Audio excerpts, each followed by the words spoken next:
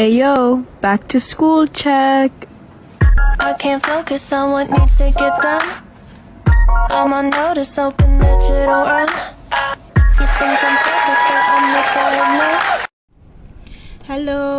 Okay, welcome back for today's English for Communication with teacher Irene.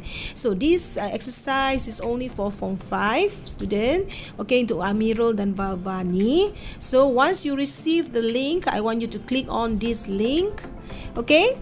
So today we are going to look at this language focus.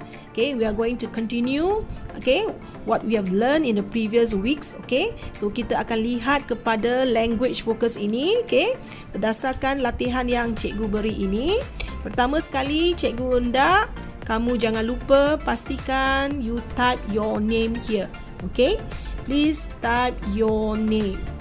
Okay so then you are required to watch the video about present simple and present continuous.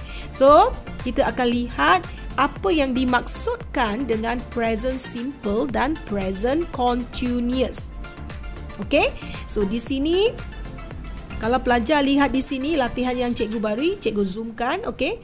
okay kita nak bezakan apa itu present simple ataupun simple present tense dan apa itu present continuous. Continuous ni maksudnya berterusan, berlangsung, sedang berlangsung, sedang berjalan. Okay, jadi saya rasa saya pernah terangkan sebelum ini. So present simple always starts with subject and verb. Okay, verb ini adalah kata kerja, subject ialah uh, kata nama. Biasanya mula dengan okay, subject pronoun. Contohnya I, you, we, they ataupun nama-nama orang. Okay?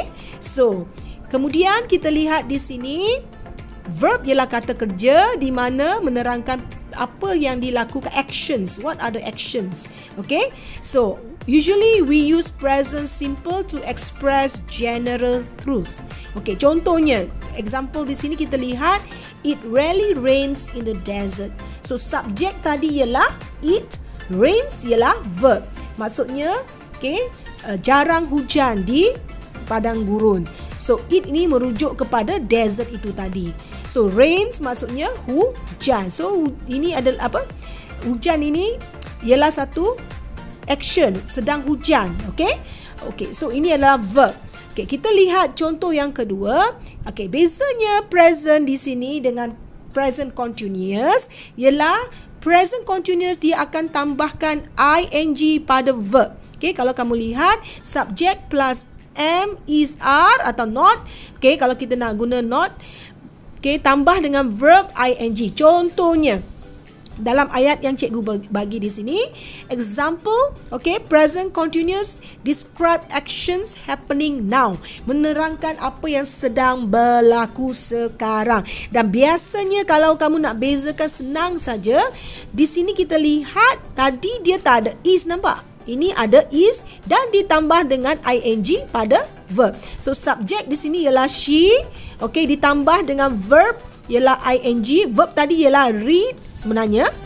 Bila ditambah dengan ing di sini akan jadi reading. Okay? So she is is ialah dia punya subject verb agreement tadilah. Okay? Sebenarnya kamu semua tahu kan bila she is he is amirul is maiso is. Okay? Itu menggunakan is sebab orang seorang. Okay? Bila ialah i akan selalu i am bila you dia akan guna subject verb dia ialah uh, eh uh, are. Okay?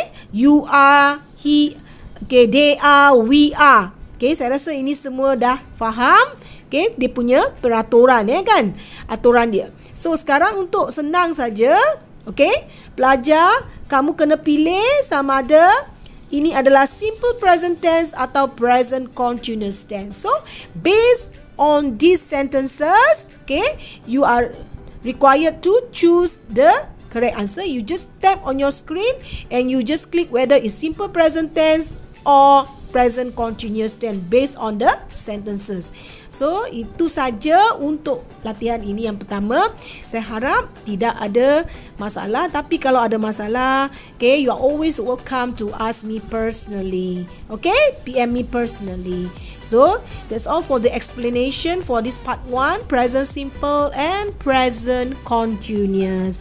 I hope Okay, you will complete this task and see you again in the coming lesson. Bye.